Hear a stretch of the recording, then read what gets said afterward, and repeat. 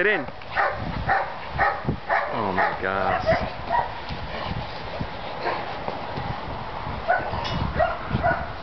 Okay, let it go.